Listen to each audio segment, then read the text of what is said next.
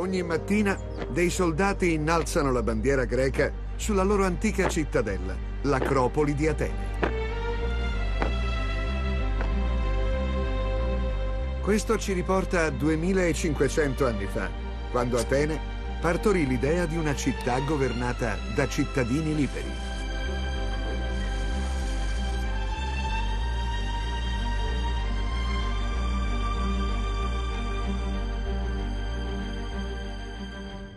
Atene è una delle città più belle del mondo. E in molti modi è proprio Atene che ci ha dato il nostro ideale di città, il nostro ideale di cittadino. Viviamo in un mondo moderno pieno di città grandi e oggi Atene è molto più grande di com'era nell'antichità. Eppure l'Atene dell'antichità è un successo straordinario.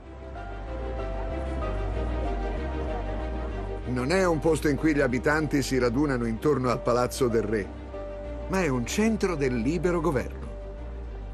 Ogni aspetto della vita quotidiana, dalla difesa allo smaltimento dei rifiuti, qui è amministrato dai cittadini. In definitiva, questo sistema definisce un modo di vivere.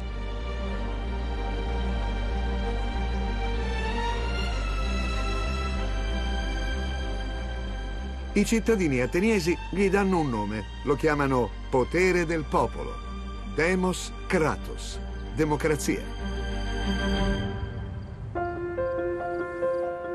Questa è la storia di come i greci trasformano l'idea della città in un modello che continua a vivere ancora oggi.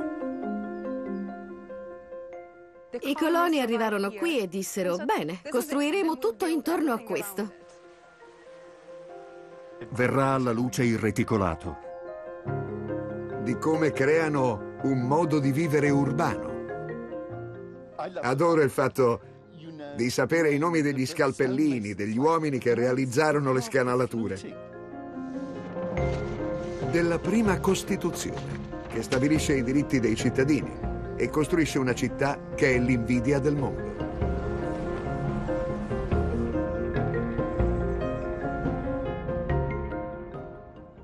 Ateniesi combattevano per un ideale, l'ideale che portiamo avanti oggi.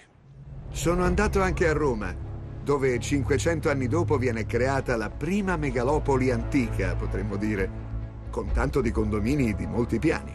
Questo non è solo un pezzo di archeologia, è un pezzo di storia vivente. Complessi sotterranei. Qui siamo proprio sotto il foro. E incredibili infrastrutture.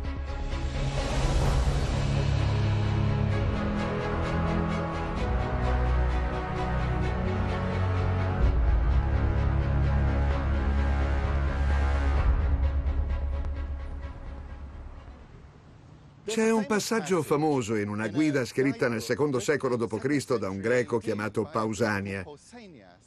È una guida di tutta la Grecia.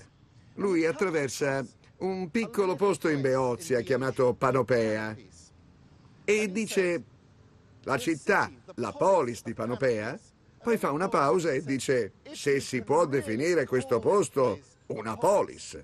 Quello che lo turba di Panopea è, cito testualmente, non ha edifici per i magistrati, non ha ginnasio, non ha teatri, non ha agora, non ha un approvvigionamento idrico che alimenti una fontana.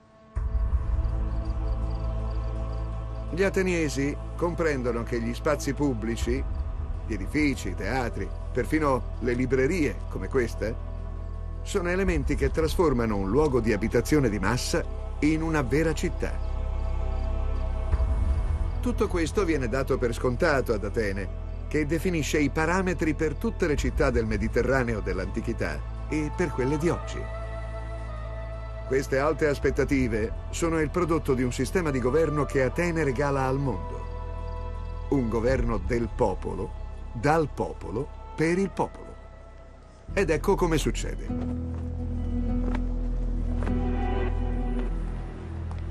Molte persone pensano che la Magna Carta inglese del 1215 sia la prima Costituzione, ma quella che vi mostrerò risale al VI secolo a.C., cioè a quasi 2000 anni prima. La Costituzione degli Ateniesi viene scritta dal grande pensatore Aristotele, ma a differenza della Magna Carta, finora non è mai stata filmata. Prego. È questo? Accidenti. È fantastico. Ho, ho, visto spesso delle foto del papiro, ma è la prima volta che lo vedo dal vivo. È un papiro vecchio di 2000 anni, ma non solo. È l'unica copia sopravvissuta della Costituzione della città di Atene scritta da Aristotele. Venne scoperta nel 1890 e poi comprata dal British Museum. E il giovanissimo Frederick George Kenyon, di appena 27 anni, cominciò a leggerla. C'è da dire che il greco è una lingua molto difficile da leggere. Questa è solo una parte del papiro, è la metà. Il papiro per intero arriva qui, è lungo due metri in tutto, e sono quattro rotoli di pergamena. Questa che vediamo qui è la parte iniziale, in cui parla del primo capitolo che riguarda la riforma di Solone. Qui, per esempio, parla proprio di Solone, Solon. Gli ateniesi considerano Solone il fondatore della loro democrazia. Lo nominano legislatore e lo invitano a stilare un nuovo codice legale per salvare Atene dagli aspri conflitti interni fra i ricchi e i poveri. Questo documento è importante per gli antichi ateniesi, almeno quanto la Magna Carta per gli inglesi. Eppure, questa Costituzione è molto più avanzata.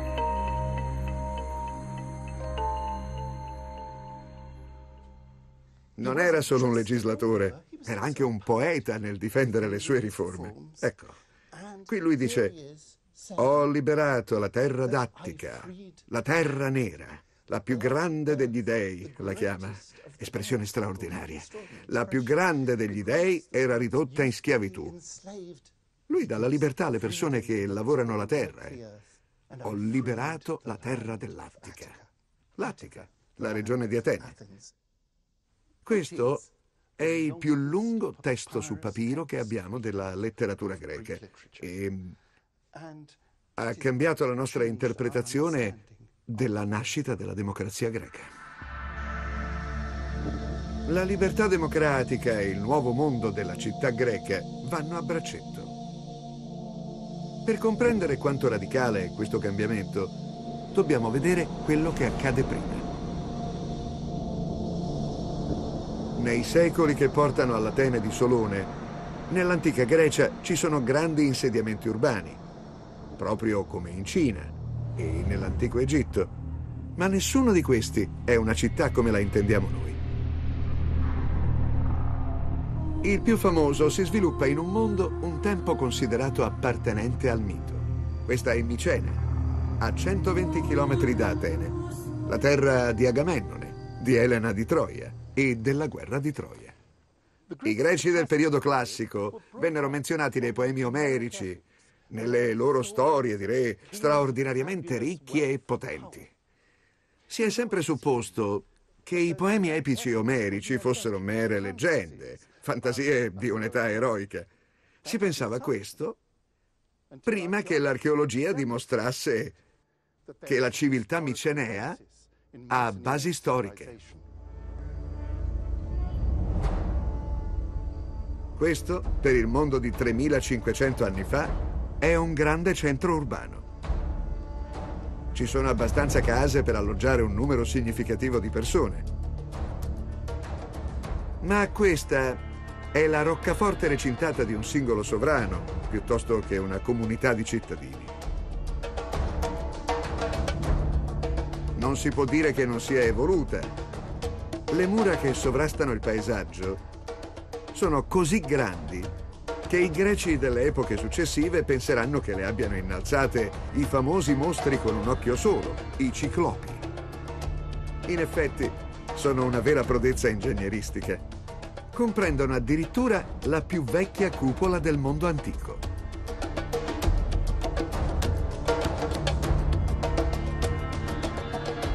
Eppure, alcuni degli elementi chiave associati a città come Atene condivisione di servizi, spazi ed edifici pubblici, mancano. In definitiva, Questo è un grande insediamento con strade e case ammassate intorno al grande palazzo, o megaron, di un re. Nel 1000 a.C. inizia il declino di Micene e degli altri centri abitati. Lentamente si inizia a sviluppare un nuovo tipo di insediamento greco. Nel corso del IX e poi dell'VIII secolo a.C., i greci sperimentano comunità governate dai cittadini stessi. Questo modello viene conosciuto come polis. I coloni greci portano la polis ben oltre i confini della madrepatria, perché fondano le loro colonie cominciando da zero, quindi possono osare di più con le proprie idee. È una spettacolare sperimentazione nella creazione di città.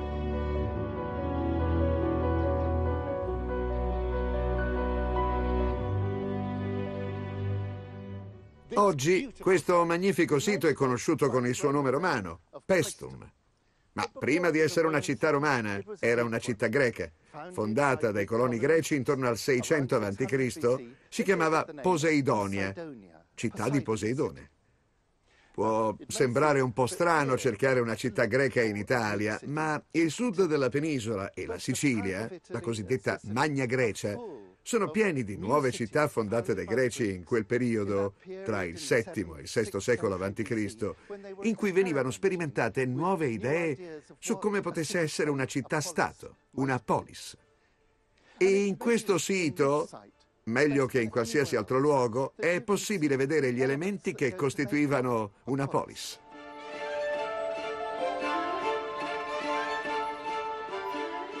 Per scoprire che cosa c'è di così rivoluzionario nell'organizzazione di questa città, sono qui con la mia collega di Cambridge, Tiziana D'Angelo. Tiziana, sapresti darmi un'idea di quanto era formale la creazione di una nuova colonia greca, di una nuova città greca? Un processo graduale, ma i coloni venivano qui con una chiara idea di ciò di cui avevano bisogno per costruire la città. Avevano una serie di priorità e iniziavano dalla prima. La priorità assoluta era lo spazio pubblico. Chiamato dai greci agorà, questo è quel salto di immaginazione che più di ogni altra cosa differenzia i nuovi insediamenti greci da quelli micenei. Al centro della polis non c'è un palazzo per il re, ma uno spazio aperto per l'incontro dei cittadini. Stiamo entrando dal perimetro meridionale dell'Agorà.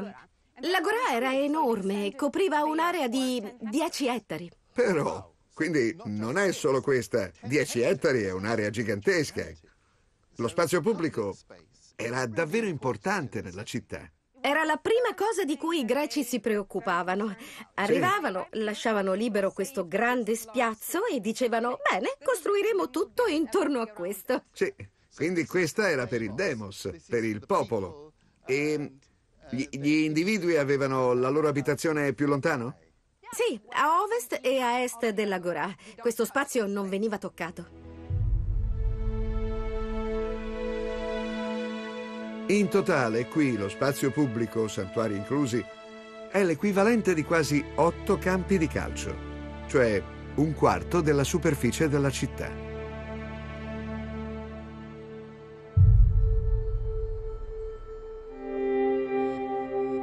L'Agorà della Polis mette gli abitanti al centro di un nuovo tipo di insediamento urbano, governato dagli stessi cittadini.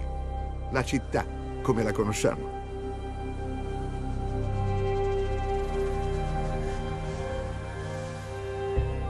È qui che i cittadini, i politai, si incontrano per scambiarsi merci e idee, per comprare e vendere e per parlare gli uni con gli altri. Agorà ha la stessa radice del greco agoreuo, che significa parlare. L'idea di uno spazio pubblico in cui poter parlare può sembrare insignificante, ma conversando nascono discussioni politiche e dalle discussioni nasce la politica.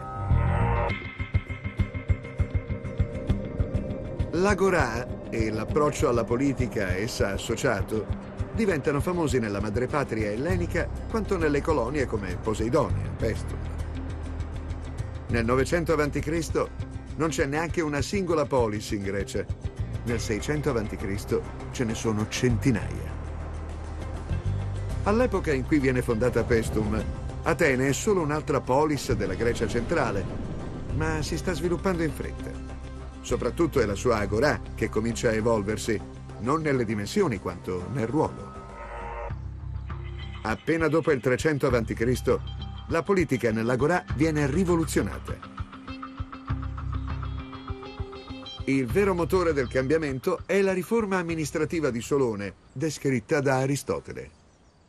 Solone fece questa sua grande rivoluzione, il suo Seisacteia, il suo scuotimento dei pesi.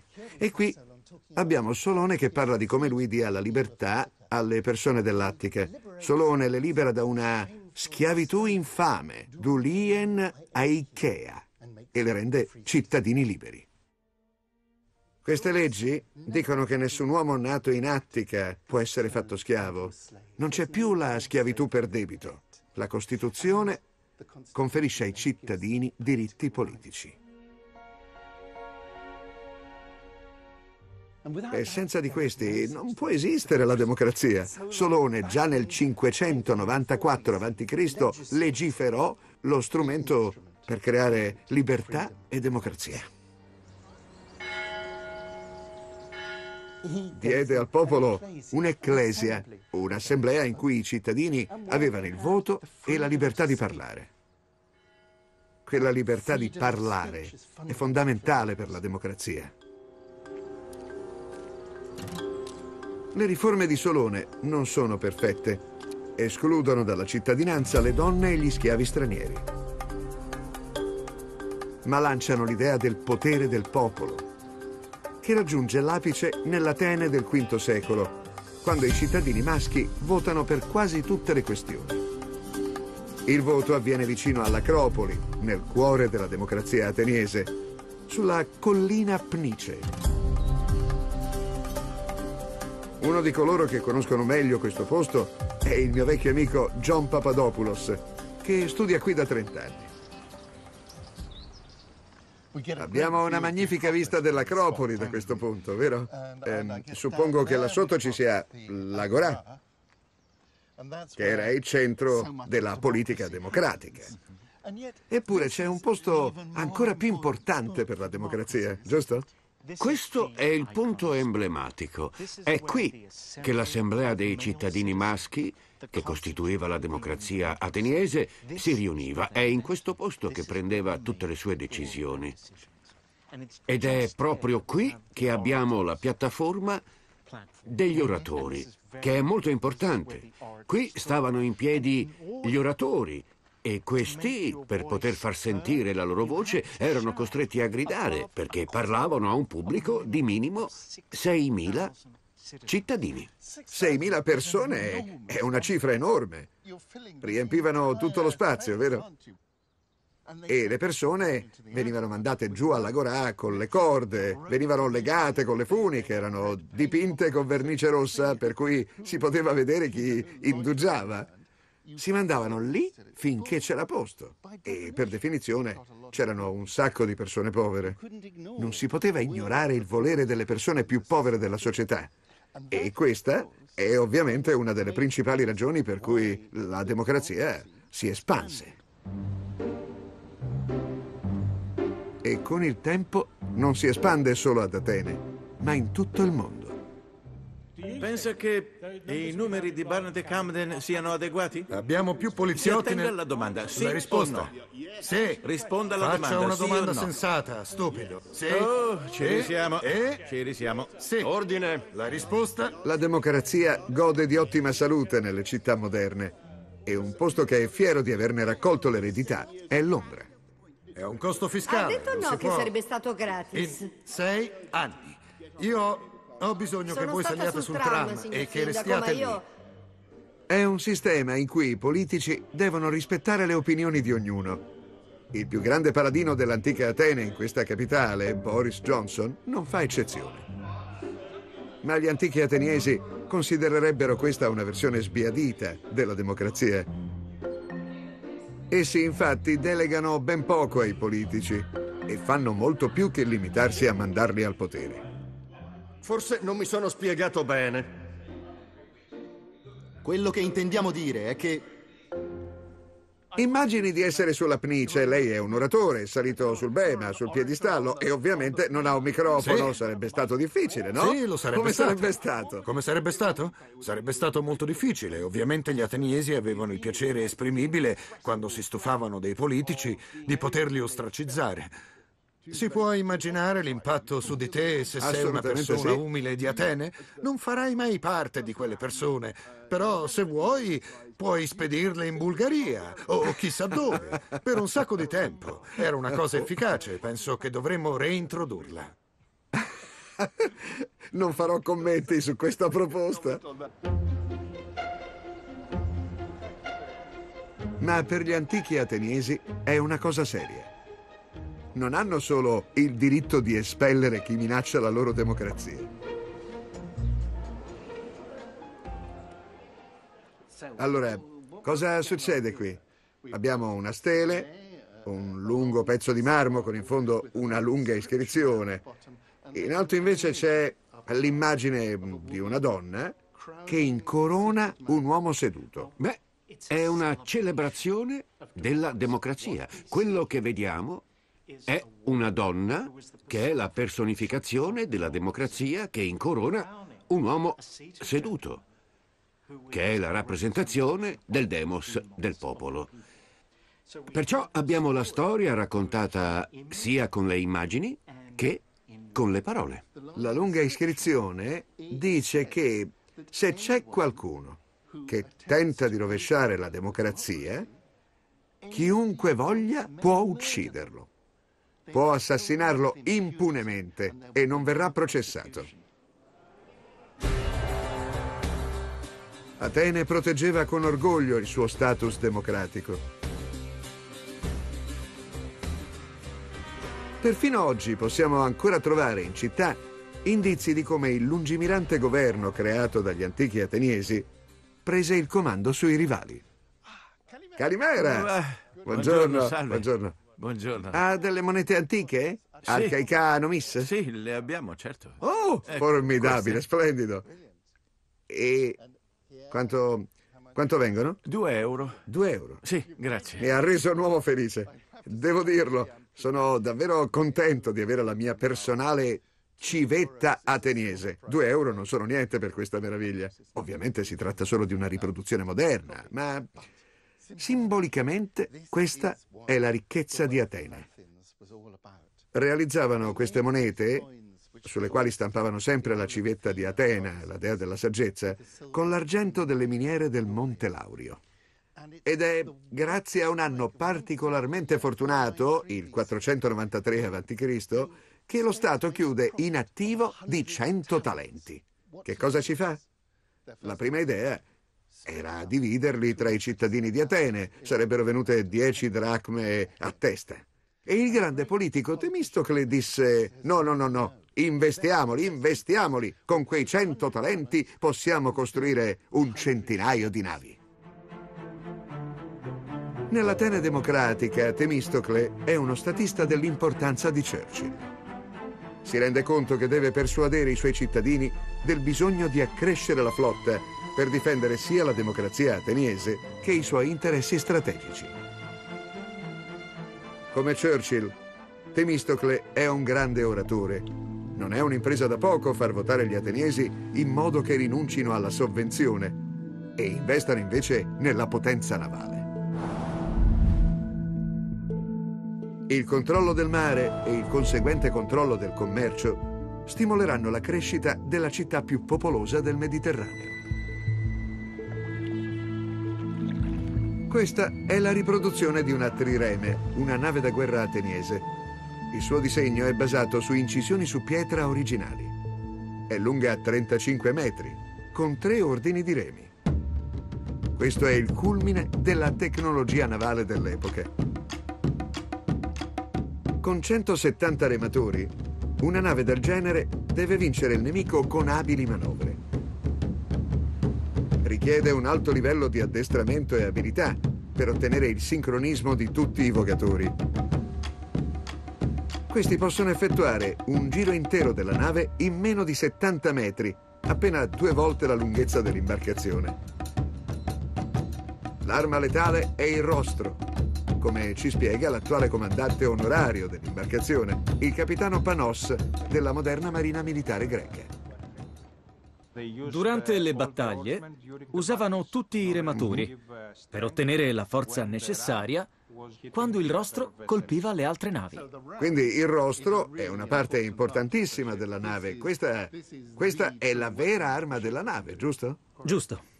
Bisognava ottenere la massima velocità per far entrare il rostro di rame nella fiancata dell'altra nave. Esatto.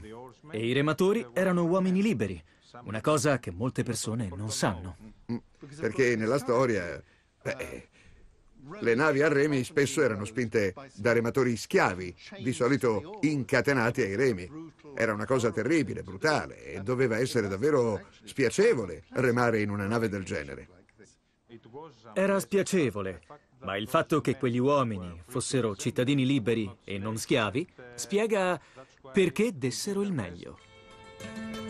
La flotta ateniese diventa inscindibilmente connessa alla futura crescita di Atene e alla libertà dei suoi cittadini. L'investimento dei profitti delle miniere d'argento dell'Aurio nella costruzione di una nuova flotta ebbe enormi ripercussioni sullo sviluppo di Atene. Da una parte rese Atene una grande potenza navale e le procurò vittorie, dall'altra ebbe grandi implicazioni politiche. Le persone che spingevano i remi erano cittadini ateniesi, ma soprattutto erano persone povere di Atene. E questo significava che la loro voce contava davvero in politica. Votavano per automandarsi in battaglia. Nel 480 a.C. la Persia invade la Grecia. L'abilità dei cittadini di sollevarsi contro un grande impero viene messa alla prova.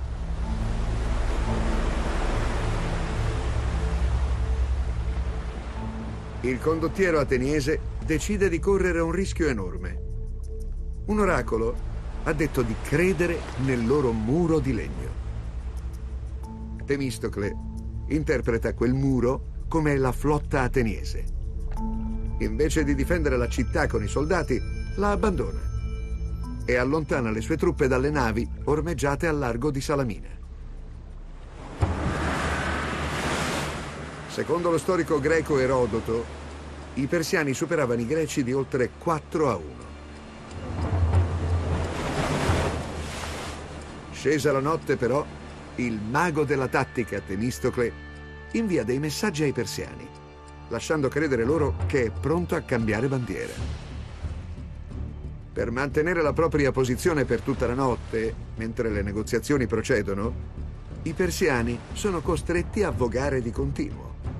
All'alba Temistocle attacca i suoi nemici ormai esausti per il remare e li annienta.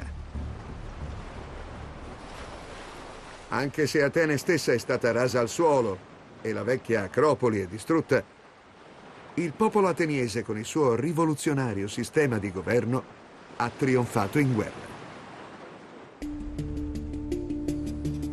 Ora è nella condizione di ottenere la pace e trasformare la sua casa da semplice polis greca nella città più splendente del mondo antico.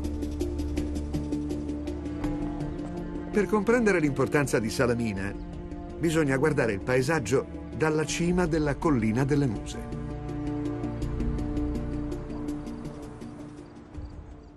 Quindi ora stiamo guardando il cuore della potenza navale ateniese, sbaglio? Ah, questo è il punto più favoloso per la storia e per la topografia di Atene. Proprio di fronte a noi vediamo il porto a forma di luna crescente, il Falero. Era quello il porto durante la battaglia di Salamina. Ma dal momento che il falero era troppo aperto e troppo esposto, nel 493 a.C., sotto il comando ispirato di Temistocle, gli ateniesi decisero di spostare il porto principale dal falero ai tre porti naturali del Pireo, in modo che fosse molto più protetto. Vedi quel moderno grattacielo nel mezzo? Un porto è alla sua sinistra, l'altro è più o meno dov'è il grattacielo e il porto principale, Cantaros, è a destra. Il muro di legno di Atene, la sua leggendaria flotta, ora è rinforzato da questa lunga muraglia. Una formidabile fortificazione di pietra alta 20 metri e lunga 6 chilometri.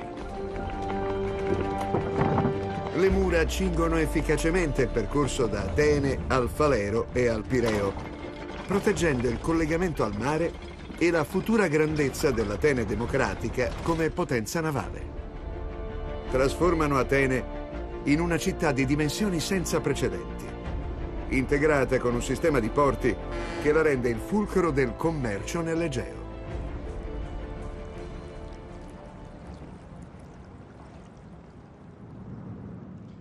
Il moderno Pireo è un enorme porto turistico, ma si trova esattamente nella posizione di quello antico. Ed è questo porto gigantesco il segreto del successo commerciale dell'antica Atene. Con la sudata libertà politica arriva quella economica. Grazie alla sua potenza navale, Atene è libera di commerciare con chiunque voglia, accaparrandosi un'enorme ricchezza e merci da tutto il Mediterraneo e oltre.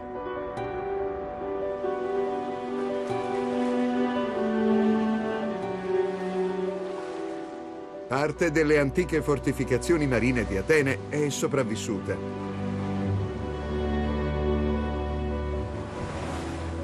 E, cosa ancora più notevole, la squadra archeologica dell'Eforato delle Antichità Sommerse dell'Istituto danese ad Atene ha scoperto un elemento chiave della supremazia marittima della città nel V secolo a.C. Le fondamenta delle rimesse navali del porto di Zea. Quella che abbiamo qui è una ricostruzione artistica del porto di Zea e rappresenta esattamente il punto in cui ci troviamo in questo momento. Si tratta di una delle due torri della fortificazione che bloccava l'entrata al porto. Da qui attraversava la bocca del Sì. porto. Una torre si trovava qui e l'altra sull'altro lato. E utilizzando la catena bloccavano l'ingresso perché non volevano che qualcuno avesse accesso alle loro triremi.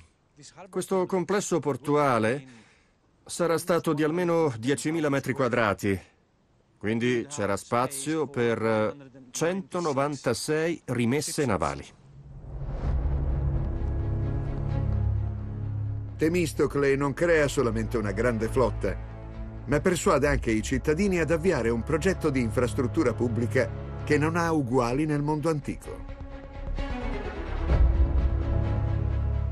Quando Temistocle sviluppò quest'area e creò il nuovo sistema di porti, vi fece costruire intorno un grande muro e lo collegò all'Acropoli.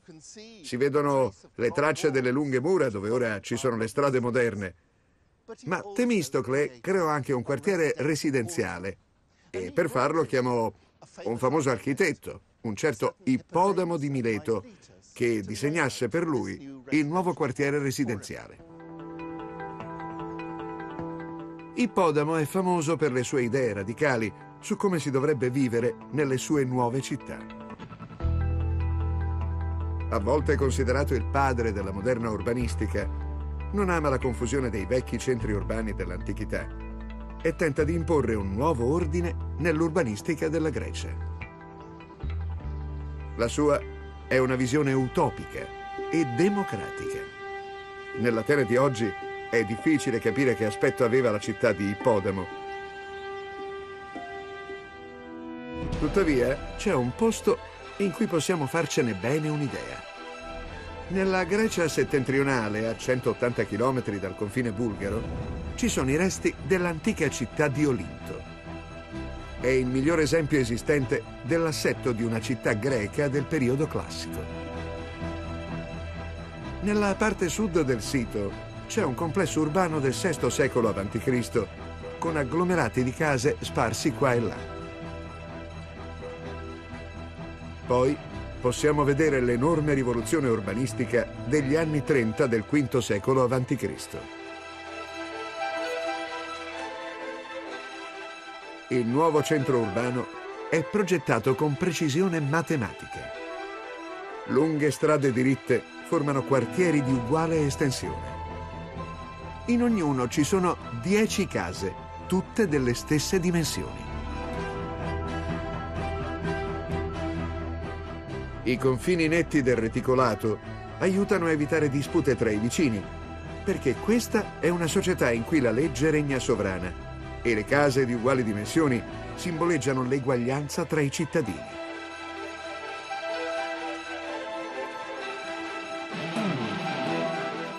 Lo sviluppo del Pireo da parte di Temistocle dopo la battaglia di Salamina non crea solo un meccanismo di espansione economica, ma dà anche vigore alla giovane democrazia.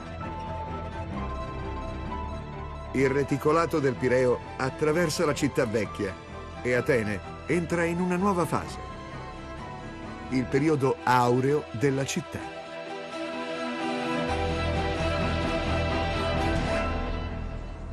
La chiave del successo è un'alleanza tra polis, ognuna unica e diversa dalle altre, con Atene al comando.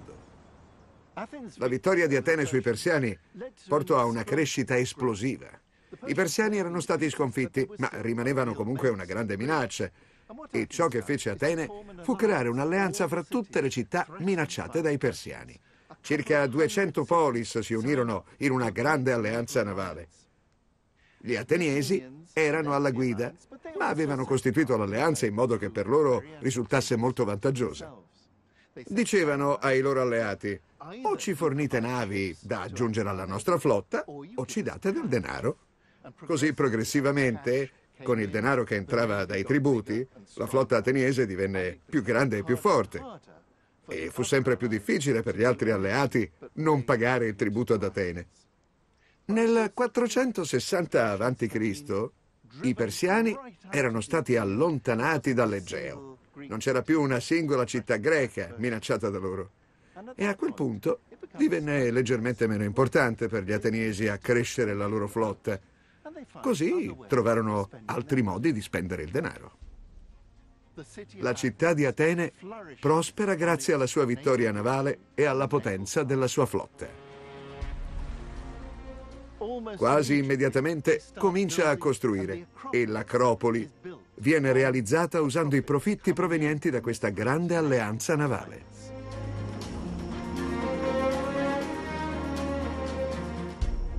La città ora è libera di concretizzare il suo ideale urbano e negli anni 40 del V secolo a.C., sotto il nuovo e dinamico comandante Pericle, inizia il sontuoso programma di costruzione. Pur essendo nato in una famiglia nobile, Pericle è un populista che porta la democrazia ateniese in una direzione ancora più radicale. Sotto la sua guida, il povero ha il permesso di sedere nelle giurie e per farlo viene pagato generosamente. Ha addirittura dei sussidi che gli permettono di andare a teatro.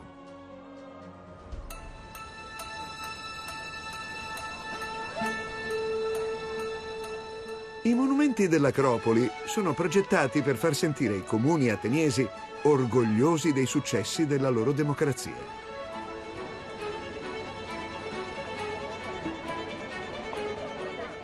Anche se l'edificio più famoso è il Partenone, guardando più attentamente possiamo trovare gli indizi lasciati dagli antichi ateniesi su quello che per loro aveva reso grande la loro città. È interessante, vero? Arrivano di continuo ondate di turisti e hanno occhi sempre e solo per il Partenone. Sanno tutti che nell'Acropoli è questo il monumento da vedere. E nessuno pone attenzione a quello laggiù. I propilei sembrano semplicemente l'ingresso all'Acropoli, ma John ha una nuova, sorprendente teoria e se ha ragione, i turisti si perdono qualcosa di colossale. La cosa davvero notevole, che è rimasta un enigma per molto tempo, è perché nel 437 a.C. l'architetto Mnesicle abbia cambiato l'orientamento di quasi 40 gradi. Puntavano laggiù? Laggiù. Puntavano in direzione delle colline delle Muse e verso il Salero. Sì. Mentre adesso sono girati. Nessuno riusciva a capire quale fosse il motivo, ma è straordinariamente semplice ed esemplifica quella che era la natura degli ateniesi. Adesso, quando esci dall'Acropoli, quando esci attraverso i propilei, Salamina è proprio di fronte a te. Mnesicle immortalò per l'eternità il fattore decisivo che definì Atene. Ovunque nell'Acropoli ci sono i segni della storia umana che c'è dietro i monumenti. Rivelano lo spirito di apertura che rende Atene il centro del mondo mediterraneo. I grandi architetti coinvolti nella realizzazione di questi templi meravigliosi, come Fidia e Mnesicle, erano probabilmente cittadini ateniesi. Ma che dire degli operai che realizzarono tutto il lavoro dei dettagli?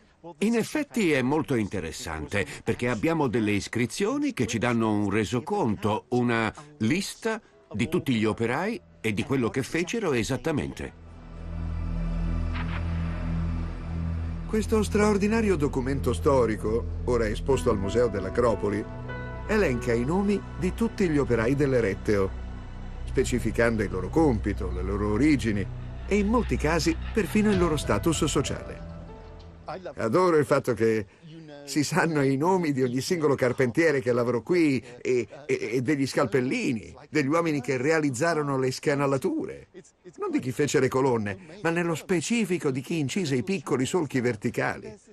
Un uomo di nome Sinias, con un gruppo di quattro schiavi, lavorò esplicitamente alla quarta colonna, cioè una, due, tre, quattro. Quella è l'opera di Sinias, splendide scanalature.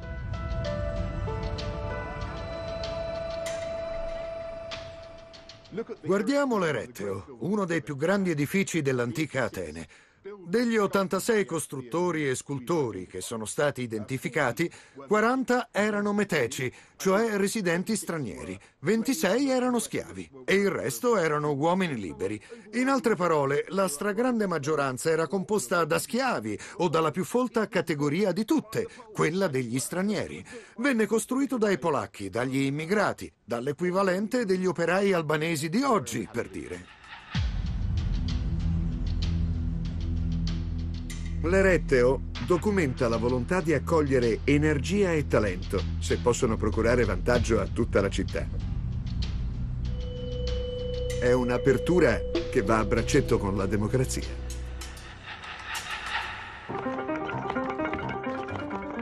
Con il crescere della prosperità del Pireo, grazie ai commercianti meteci, il sistema di strade viene trasformato per andare incontro al crescente numero di beni per la popolazione in espansione.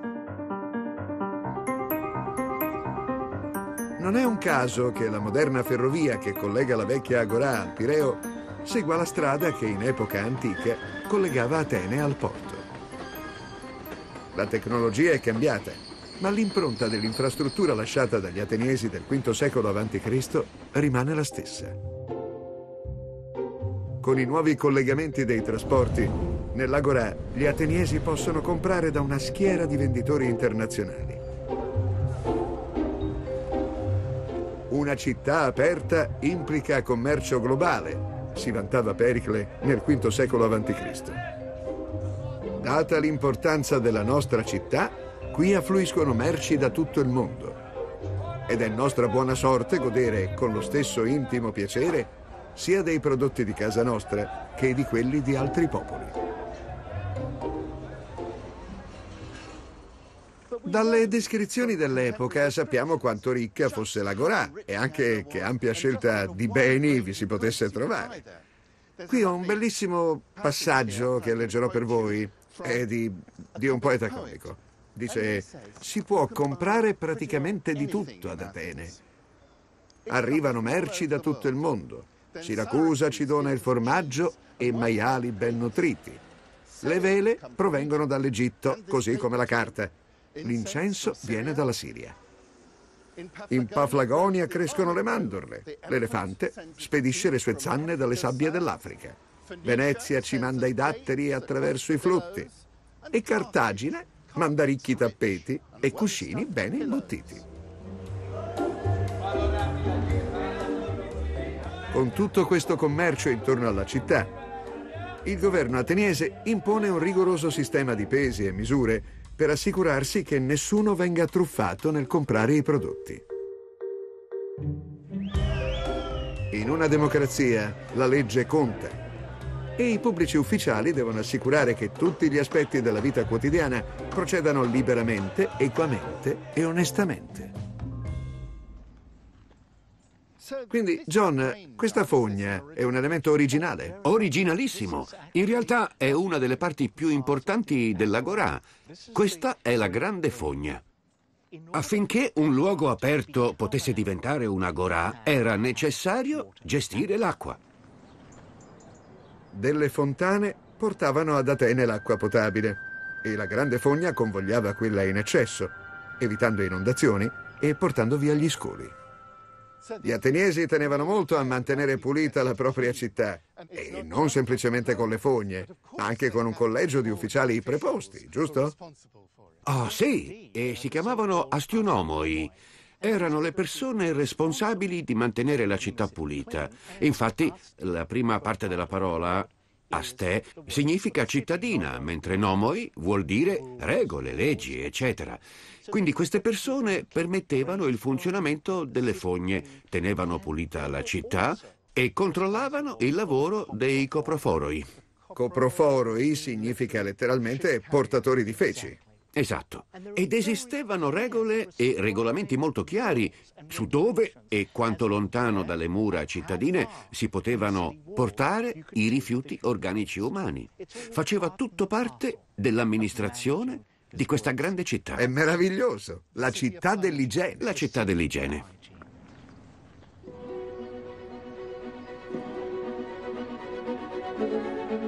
Il governo democratico di Atene non crea solo istituzioni che possano far funzionare una grande città.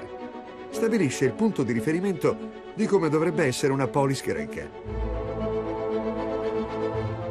E lo standard viene stabilito dall'esigenza pubblica, dal potere del popolo, dalla democrazia. E non vale solo per l'antica Atene, ma per le città del futuro. Lo riepiloga uno dei più grandi condottieri ateniesi, Pericle. Le sue parole ispirano i leader ancora oggi.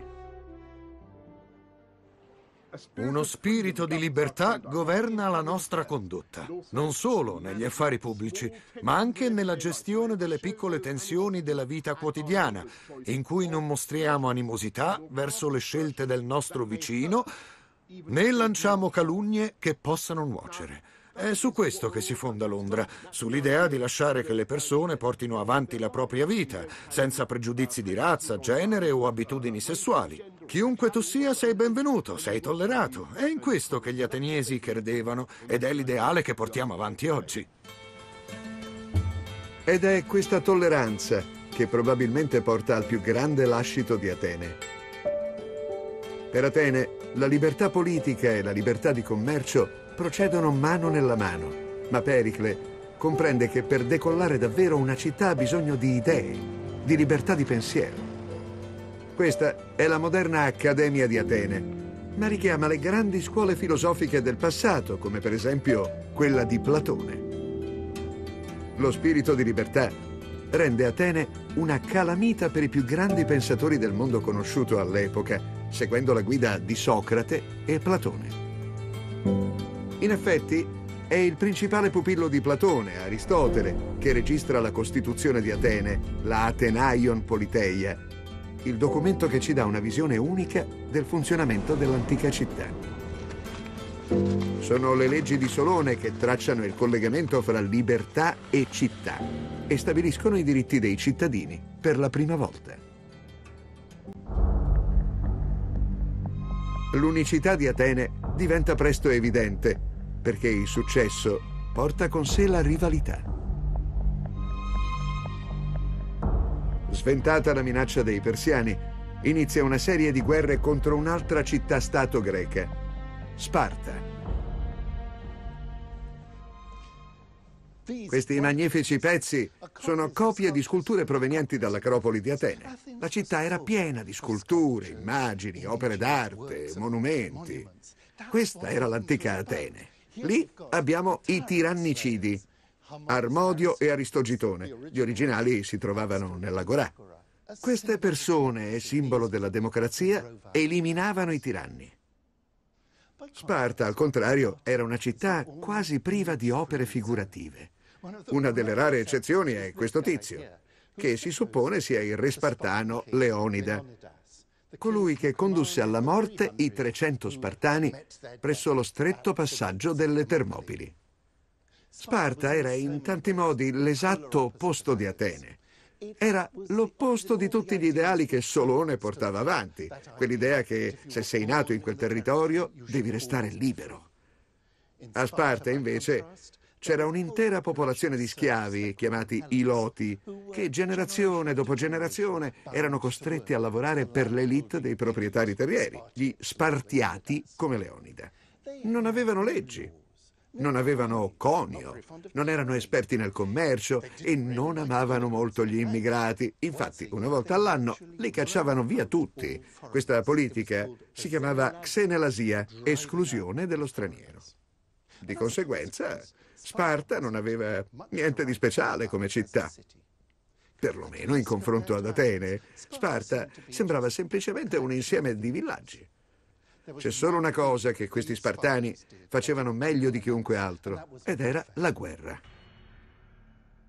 Gli spartiati venivano addestrati nell'arte della guerra sin dall'infanzia. Sapevano meglio di chiunque altro in Grecia come, come difendere la propria terra e come devastare quella degli altri popoli. E quando lo facevano, nessuno poteva fermarli. Se arrivano gli spartani, Atene può sopravvivere senza i terreni agricoli dell'Attica, poiché importa già gran parte del suo cibo attraverso il Pireo. Pericle sa che in tempi di crisi gli ateniesi possono ritirarsi dietro le lunghe mura della città allargata. Ma questa strategia apparentemente ben escogitata ha un difetto fondamentale.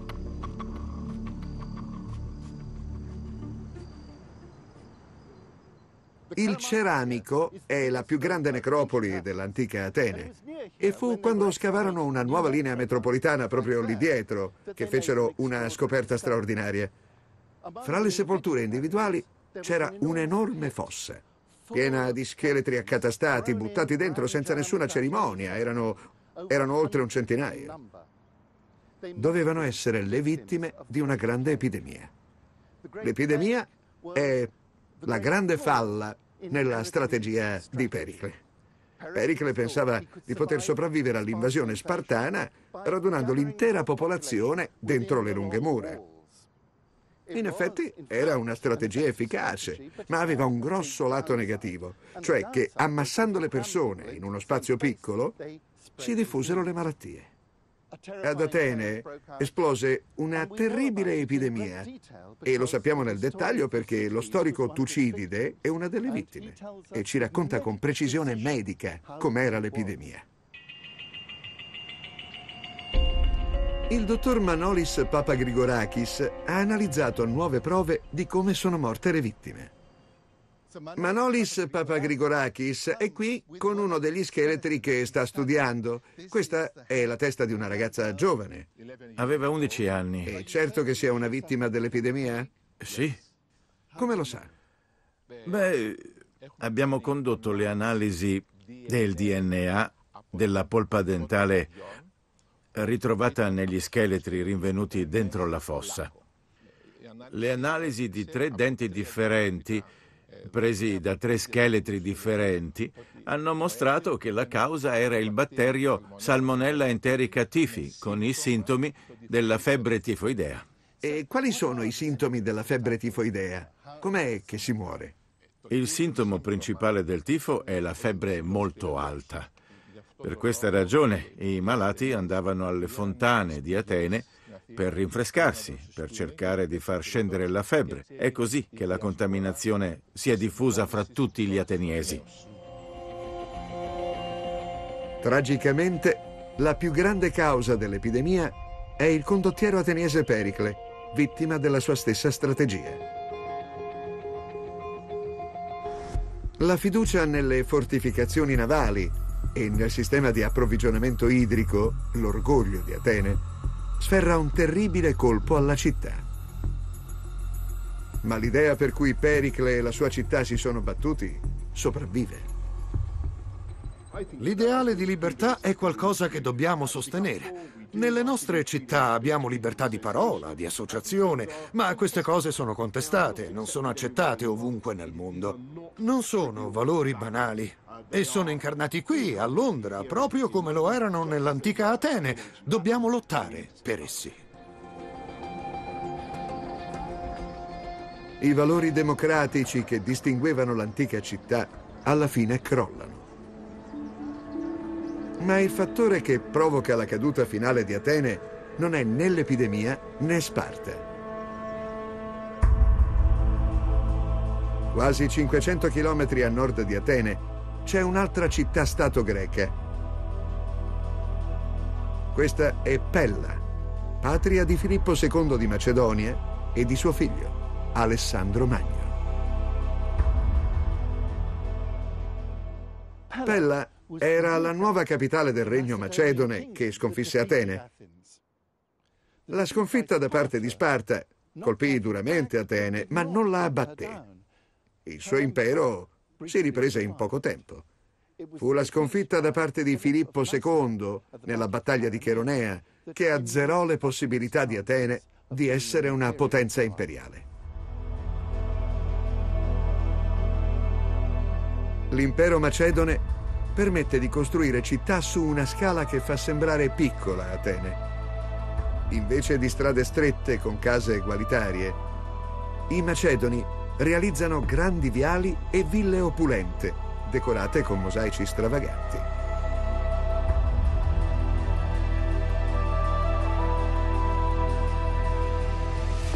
Ma in termini di gestione della città, seguono l'esempio ateniese. Spazi pubblici, approvvigionamento idrico pubblico, edifici pubblici. Dall'altra parte del Mediterraneo, un'altra città-stato sta a guardare con ammirazione. Mentre gli ateniesi hanno stabilito un nuovo standard per la vita urbana, servirà un impero molto più grande per creare la prima megalopoli del mondo antico. Quell'impero verrà lanciato da una polis, non in Grecia, ma in Italia. Il suo nome in greco significa forza, Rome, Roma.